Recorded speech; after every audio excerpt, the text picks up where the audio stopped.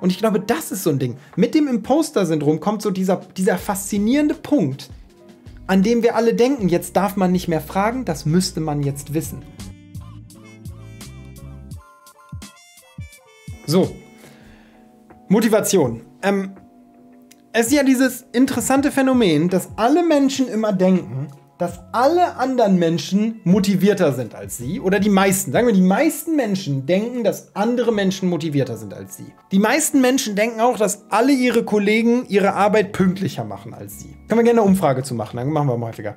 Äh, warte, nee, ich habe gelernt, ich muss immer erst erklären, wie die Umfrage geht, sonst haben die Leute schon direkt die Finger auf den Sachen. So, ähm, Umfrage plus ja, ich habe ein Problem mit Motivation und gehe davon aus, dass andere weniger Probleme mit Motivation haben als ich. Plus, minus, ja, ich habe ein Problem mit Motivation, aber ich gehe nicht davon aus, dass andere weniger Probleme damit haben als ich.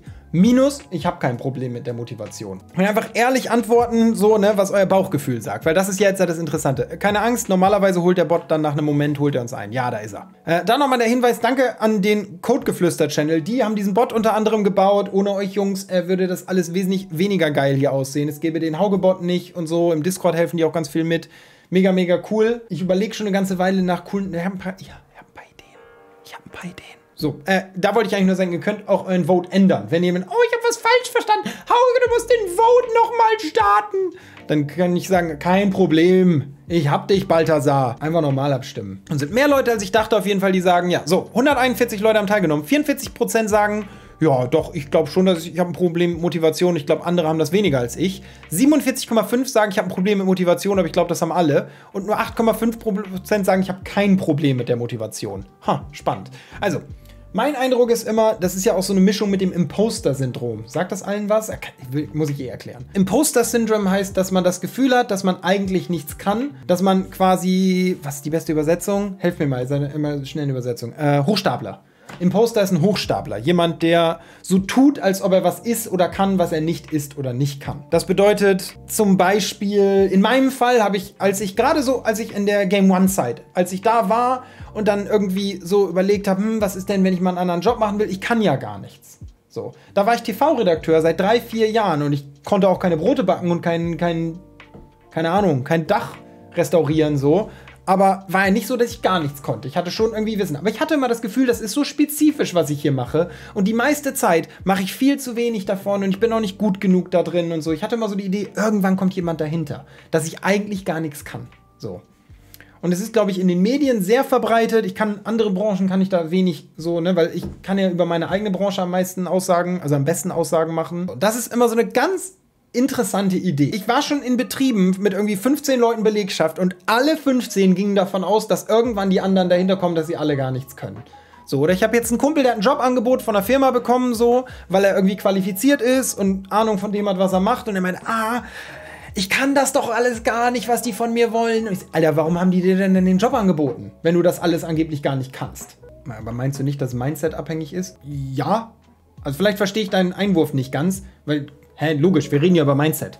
Aber wobei ich natürlich auch mal sagen muss, das ist alles Mindset, ist natürlich auch immer so eine gerne, so eine, so eine Erklärung für alles. Aber logisch hat das, das ist ja, wir reden ja direkt von einem Mindset. Also, meinst du nicht, das hat was mit Gedanken zu tun? Ja, das hat was mit Gedanken zu tun. So, jedenfalls, ähm, ist bei Motivation ganz krass. Ich habe irgendwann habe ich meinen guten Kumpel Christian getroffen. Den habe ich in New York kennengelernt. Auch Deutscher ist vor Jahren in die USA ausgewandert, ist Journalist in den USA. So, und der macht, keine Ahnung, super krasse Sachen, schreibt Artikel für die Times und so. Und wenn man so jemanden trifft, denkt man immer, okay, da sitzt der Typ, der immer dann, wenn ich rumhänge und meinen Classic-Charakter-Level in Wirklichkeit arbeitet. So. Und dann haben wir da auch so drüber geredet und so. Und Christian ich, manchmal in seinem Leben, glaube ich, das kennen wir alle, oder hoffe ich, dass ihr das auch mal erlebt habt, trifft man Menschen, zu denen man sofort so eine krasse Verbindung spürt. Und Christian war so der Mensch, glaube ich, den ich so in meinem Leben getroffen habe, wo ich noch so schnell, so krass war ich noch nie mit irgendwem connected. Also wir haben uns da drei Tage gesehen und ich würde jetzt schon, Christian ist einer meiner allerbesten Freunde. So. Obwohl wir uns wirklich drei Tage in unserem Leben gesehen haben. Das war damals auf Empfehlung von Eva, Eva Schulz.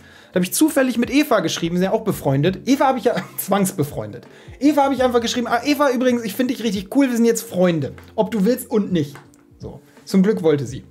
Äh, und dann waren wir halt Freunde und dann hat Eva gesagt, ey, wenn du in New York bist, ich habe einen Kumpel in New York, den musst du treffen, ist der Hammer. und das war Christian. So, und ich war halt vier Tage in New York, fünf Tage in New York und davon eigentlich 90% der Zeit mit Christian abgehangen. So, jedenfalls, der hat dann da auch drüber geredet und hat gesagt, ey, das habe ich so oft. Der Großteil meiner Arbeit gebe ich immer alles auf den letzten Drücker ab. So, weil ich mich einfach nicht motivieren kann oder weil ich keine Lust habe oder weil ich das alles auf die lange Bank schiebe, obwohl ich nicht sollte. Und er meinte auch, ich rede mir immer ein, das wäre bei anderen Leuten anders. Und das ist natürlich so ein Quatsch. Das ist so ein unglaublicher Quatsch. Weil wir alle haben oft keinen Bock. Ich glaube, wenn alle öfter da, offener darüber reden würden, dass die meisten Tätigkeiten mehr so Learning by Doing sind, würde auch dieser Imposter-Syndrom weniger werden. Das betrifft ja quasi alle Tätigkeiten, für die es keine explizite Berufsausbildung gibt. Man fuchst sich halt rein und was zählt, ist das zu können. Ich würde sogar sagen, das geht sogar noch weiter. Also ich stimme dir zu und ich würde sagen, es geht sogar noch weiter als nur die Dinge, für die es keine explizite Berufsausbildung gibt. Also so Kumpels von mir, die halt wirklich, keine Ahnung, ich habe einen Kumpel, der ist Tischler und der sagt, ey, das habe ich genauso. Selbst als ich aus der Lehre kam, hatte ich das Gefühl, ey, ich kann gar nichts. So. Und dann dauerte das bei mir halt eine Weile, bis ich an den Punkt kam, wo ich gemerkt habe, ey, so, ich kann was und ich habe jetzt genug gelernt. Jeder Betrieb ist anders, das ist immer spezifisch, was man macht. Also, du wirst ja auch nicht, keine Ahnung, Krankenschwester und jedes Krankenhaus ist gleich. So, oder keine Ahnung, Krankenpfleger, jedes Krankenhaus ist gleich. Sagt der Dunning-Kruger-Effekt was? Ja, sagt mir was. Ist ja auch mittlerweile zum fliegenden Wort geworden, ne? So geht es mir auch nach viereinhalb Jahren Konditorin. Ich glaube, das Wichtige ist, dass was bei mir einfach doll geholfen hat, ist manchmal mich daran zu erinnern, wer. Wer genau? Wer ist diese imaginäre Figur in deinem Kopf, die das in Frage stellt und bei der das zum Problem werden könnte, dass du nicht 100% genau weißt, wie was funktioniert? Denn über Jahre habe ich wirklich hab Jobangebote, also freiberuflich Sachen abgelehnt, weil ich dachte, ich kann das nicht. So. Ich weiß, als zum Beispiel der Sayonara Heimat, als das Angebot kam für diesen Podcast, ich, ich habe noch nie einen Podcast gemacht, ich habe keine Audio-Podcast-Erfahrung, auch alleine als Producer was machen und so. Das habe ich doch alles noch nie gemacht. Was ist, wenn das schief geht und so? Und im Endeffekt, wenn das schief geht, fragst du halt. Dann schreibst du da oder rufst da einmal an und sagst, ey, ich sitze hier gerade und muss die Grafik machen. Ich bin mir gar nicht sicher, welches Format ihr braucht. Oder weiß ich nicht, dann frag Leute, die das wissen. So. Und ich glaube, das ist so ein Ding. Mit dem Imposter-Syndrom kommt so dieser, dieser faszinierende Punkt, an dem wir alle denken, jetzt darf man nicht mehr fragen, das müsste man jetzt wissen. Habe ich schon mal gemacht, dieses KKO-Beispiel, ne? Irgendwann hatte Stefan Raab mal, als, als irgendwie TV total noch lief und so auf der Höhe war, wo ganz viel so TV-Clips waren. Und da war eine Kochsendung und da war ein relativ renommierter Koch und der hat immer wieder gesagt, ähm, einmal bitte den Kakao hier rüber. Er meint halt Kakao. Können Sie mir den Kakao mal geben? Ich bräuchte den Kakao mal hier drüben.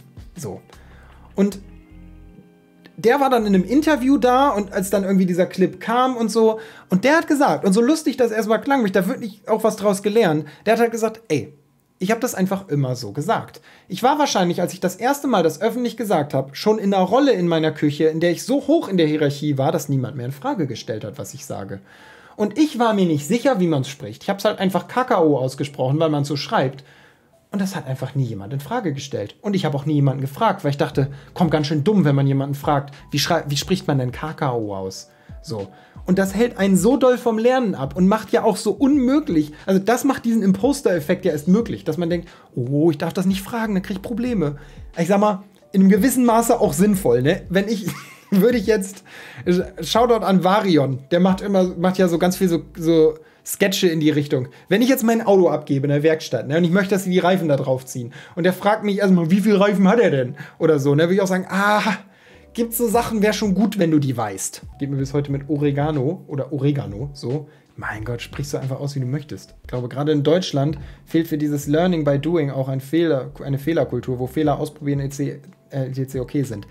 Ich kann nur sagen, also aus dem bisschen, was ich jetzt so aus den irgendwie diesem bisschen mehr als einem Jahr Japan mitgenommen habe, das in Japan noch viel krasser. Scheitern ist überhaupt keine Option in Japan. Wenn irgendwas schief geht, gibt es die Option, so tun, als wäre es nicht schief gegangen, oder du bist, hast dein Gesicht verloren. So.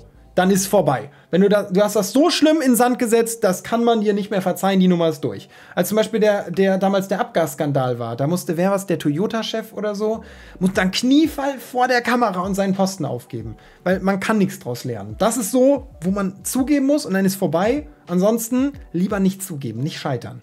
Scheitern geht nicht. Ohne Scheitern hat er doch keine Schnürsenkel binden gelernt. Ey, schade, müssten wir eigentlich mit Niklas mal drüber reden. Das ist halt mega spannend, weil mir auch irgendwann aufgefallen ist, wie selten man Leute trifft, die wirtschaftlich mal mit einer Unternehmung gescheitert sind. Niklas hat ja vor Bond war schon mal eine Firma gegründet und das hat halt nicht funktioniert. Die Firma ist halt pleite gegangen und dann hat er halt einfach die geschlossen und gesagt, ey, ich bin nicht ruiniert, ich mache jetzt was Neues. So, hat nicht funktioniert.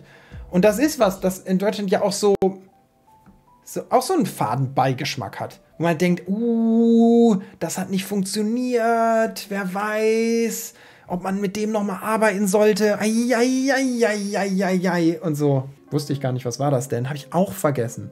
Niklas hat mir das mal erzählt. Ich wusste das auch ganz lange gar nicht. Er hat mir irgendwann mal erzählt, dass er halt davor irgendein Unternehmen hatte und das hat nicht geklappt. Wenn ich Probleme mit dem Verständnis habe, dann frage ich und erkläre auch immer mit, äh, warte, ich blätter eben ein, das wenn ich so vorlese, erkläre aber auch immer mit, was ich bisher nicht verstanden habe und wo die Probleme liegen. Ich habe keine Probleme mit dem Fragen, weil ich immer glaube, dass ich keine dummen Fragen stelle. Hm. Also mir fällt das manchmal schon schwer. Ich finde zum Beispiel Julia, Julia Oetgen, eine gute Freundin von mir. Julia, die kann das. Die stellt einfach eine Frage. So, und das ist was, was ich richtig respektiere. Wenn man so ego-befreit ist, dass man einfach sagen kann, du weiß ich gerade nicht. So. Da saßen wir irgendwie in Münster an einem Tisch und dann wurde irgendwie über was Historisches geredet. Und ich muss auch zugeben, ich wusste das auch nicht. Irgendjemand hat dann so ein Thema angeschnitten und hat so, ja, wie damals als das und das. Und dann sitzt man da so und so. Ja. Ja, ja, genau. und so, ich muss mal aufs Klo schnell googeln. So, und ja, einfach so, nee, weiß ich nicht, kannst mal erklären? So, und das finde ich mega gut, wenn jemand das einfach so kann. Sagen kann, ey, fuck it, ich frage einfach. Ich habe in meinem Bachelor äh, in einem Labor mit einem chinesischen Studenten gearbeitet. Er wollte nie was fragen, weil er dachte, das darf man nicht. Krass. Ich muss gestehen, ich habe selten mit äh, chinesischen Kollegen zusammengearbeitet. Ich hatte in der Uni war ganz viel. Ich wusste nicht, also kann sein, dass es Mentalität ist. Vielleicht war das auch einfach eher. Leute sagen manchmal, es gibt keine dummen Fragen. Also, ich habe schon mal die Geschichte erzählt, glaube ich. Das war 9. und 9-10. Klasse Realschule. Ich war in der 9. in der Realschule und die Hauptschule endete damals nach der 9. Klasse. So, und dann hatten wir einen Kurs mit den Neunklässern der Hauptschule zusammen und den Leuten, die in der 10. von der Realschule abgingen. So, und in dieser 10. Klasse der Realschule, das war irgendwie so eine letzte Stunde mit diesem Lehrer. Also, kurz gesagt, wir saßen alle zusammen in einem Raum, verschiedene Leute aus verschiedenen Klassen, relativ viele Leute im Raum.